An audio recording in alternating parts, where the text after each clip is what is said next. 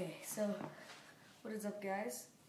I'm the Illusion Skater, and um, today I'm going to be doing a trick tip on pop shove-its. So if you didn't check out my how to ollie slash fakie ollie uh, tutorial video, I suggest you look at that. It's very detailed, and it's the best way because I probably, when I'm skating and trying to learn a new trick, I probably have run into the most problems out of any skater. So, and then I solve them. So, if you have a lot of problems, if you have any problems, then you should just uh, go to that video. And so, here we are to pop shove it. This is, I'm going to teach you how to shove it. I'm to teach you how to shove in this one. Pop shove is going to come later. I'm to teach you how to fake shove it and just shove. So, uh, I know this is a Saturday, but I was really really busy, and um, but I'm gonna try still try my best to get the how to hump days to get this to try because Wednesday I probably pick Wednesday as the worst one because I'm busiest on that day. Most uh, so uh, yeah, so here's a trick tip. Probably gonna move it to Saturday, have more time, or some someday else. So. Uh, is. How to pop shove. Alright, so the first thing you want to know before trying this trick is basically to be comfortable on your board. You'll, you'll notice that a lot of the first few tricks that I teach you are not going to require a lot of any tricks, just skill of riding the board and stuff like that. So the first thing they should always know is the foot positioning. So the foot positioning that I use, with my back foot about right there. Not my I don't like to have my toes over the th over the uh, tail because it just feels weird. And I like to, and you get more pop if you have it more close to the center of the board, center of the tail. Sorry. So I put it about right there. So I get a nice good scoop and a nice good pop. Front foot, I a lot of people like to put it like up here I like to have it hanging off. Like maybe this and like that, like that, cause that that's what I'm most comfortable with, and it balances out, it balances out the board. So that way, when you flip, uh, you scoop the board, it doesn't flip at all. It balances out. It, it just does a nice clean shove it without any flips. So I put my back foot or my front foot about right here. So main thing that you're to want to do is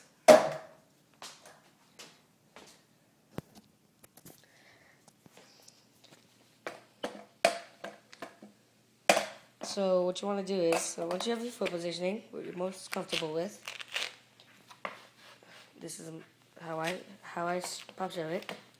See my, my front foot at an angle, hanging off the board and my back foot. Not too much off the board, not too much on the middle. Just the center right there, or just the middle between those two. You're gonna wanna, I'm gonna just take my front foot off. You're gonna wanna, uh, not necessarily pop, but just kind of roll your back foot back. Just like that. So, you just wanna get that and just scoop it like that. Then once the board comes around, it won't go up like this. It'll probably just go sideways. You want to, you're gonna want to watch it and just catch it uh, with van bolts. Roll away. I know it's it seems simple as that, but it's not that simple. So, so I so now you know what the back foot does the whole time. I'm gonna teach you what you do with the front foot. The front foot is pretty crucial uh, it's what.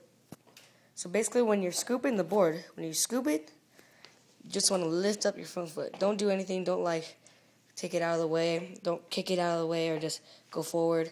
You just want to lift it up.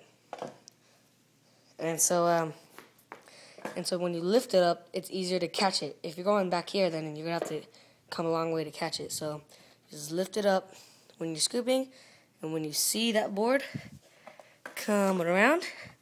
You have your lifted front foot. You got to catch the bolts.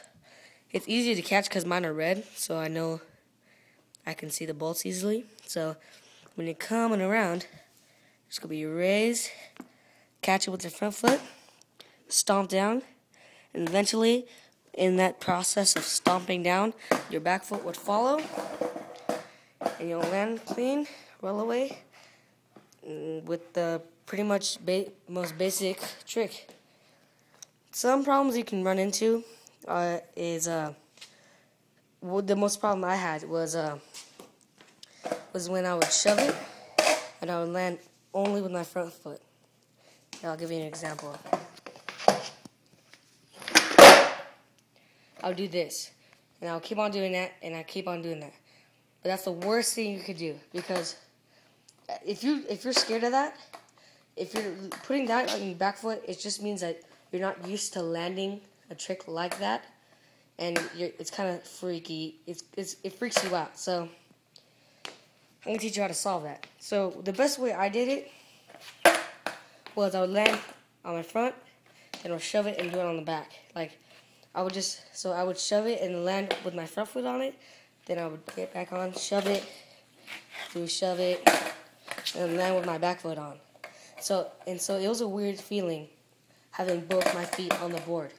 So like I would do that until I was comfortable enough, and then when I finally did it, I just jumped, shoved it, and then landed bolts. So that's pretty much one of my one of the problems that, and how I fixed it. Uh, another problem that you can have, uh, underspinning and overspinning. Uh, underspinning, you could basically put your toes over uh, the tail a little bit more, or just twist your body a little, like twist it into like a 180. So like if you can see right here, you kind of like like just twist, but then you don't twist, you don't really go like that. You just kind of shove it, and that that hopefully will uh, get it spinning faster.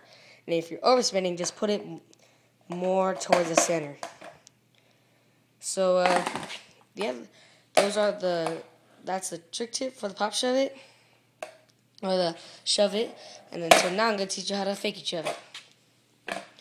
Basically, if you if you don't know what fakie is, just and I explained it in my last video, it's basically rolling backwards. So let's say if you're regular, you're pushing like that, you're going and you jump on. It's just basically going this way. I'm regular, so I would. It's like rolling goofy. If you're goofy, you would roll regular. If you're regular, you roll goofy. And then basically, you're just rolling backwards and you do the shove it.